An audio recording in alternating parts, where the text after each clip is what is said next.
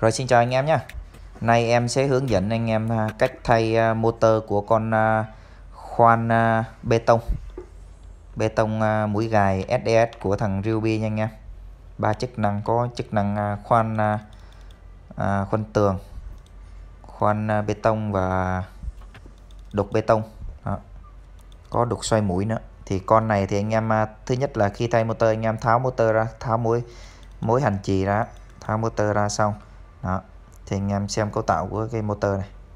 Đó anh em chuẩn bị thêm một cái motor mới để anh em thay vào nhé. Anh em có thể thay than đối với ờ, trường hợp là bị bể than.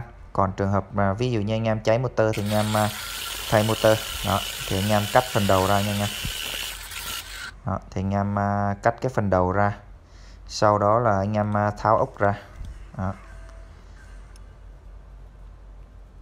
Rồi, anh em à, tiếp theo là anh em à, tháo bạc đạn ra rồi à, lấy đục cái phần cốt ra nha anh em.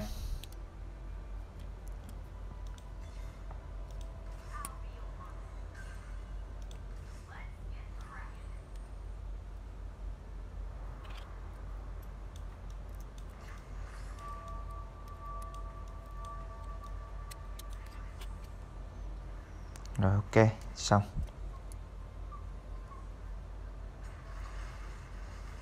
Rồi tiếp theo thì anh em à,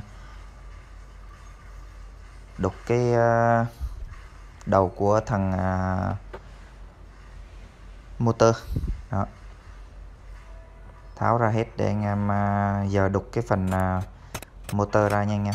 Cái cái cái đầu motor nó dính dính ở trong à, cái trục bánh răng á cho nên anh em phải đục ra. Đó.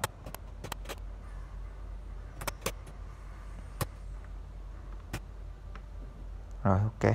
Đục ra rồi thì anh em ráp vào lại bao gồm à, bật đạn Đó. rồi anh em à, ráp vào motor và hàn chỉ lại nữa là xong nha anh em. Đó. rồi bắt đầu anh em à, ráp à, bộ nhông với lại à, motor cho nó khớp lại. Là có một cái máy hoàn chỉnh để anh em à, sử dụng nha anh em. Cái này là hướng dẫn anh em à, thay motor của con à, bê tông Ryobi Đó. để cho những em anh em nào mà à, cũng lăng làm nghề thì có thể biết thay cái motor này một cách dễ dàng. Đó. Có ba tô thì anh em ép lại là đó, cho nó cần cái à, bộ nhông. Rồi. Đây là cấu tạo của con khoan bê tông nha anh em. Đó anh em ráp phần búa vào nha anh em.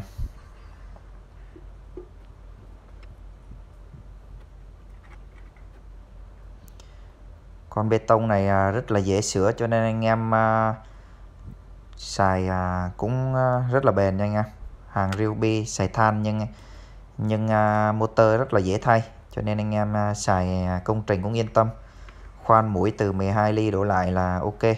Hơn 12 ly vẫn khoan được nhưng mà anh em muốn xài bền lâu thì khoan từ lỗ 12 ly trở lại thôi cho nó bền, không ép tải.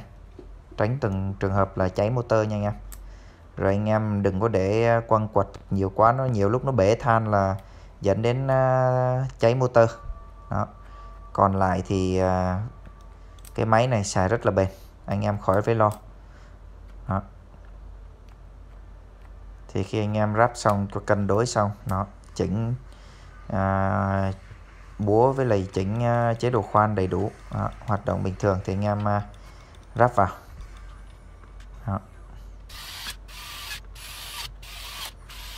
rồi ok nha anh em đó. sau khi ráp vào thì anh em à, bỏ bỏ phần đầu vào đó, phe gài đó. bỏ phe gài vào bỏ bi bỏ đồ vào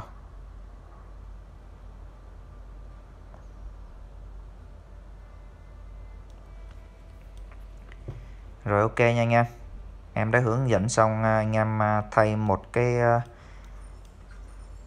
motor của con à, uh, khoan ba chức năng. Đó, anh em bỏ đầu bỏ đầu vào nữa là xong. Rồi cảm ơn anh em à, xem video nhé anh em nào xem video nhớ cho em một like và chia sẻ cũng như là đăng ký kênh của em nhé Đó rồi, cảm ơn anh em đã xem video. Anh em nào có nhu cầu mua máy thì liên hệ em qua số điện thoại 0931172897 rồi có nhu cầu mà thay motor của bu lông bê tông và khoan pin à, của Ryobi và một số hãng khác thì à, cũng liên hệ em qua số điện thoại 0931172897 rồi, cảm ơn anh em đã xem video.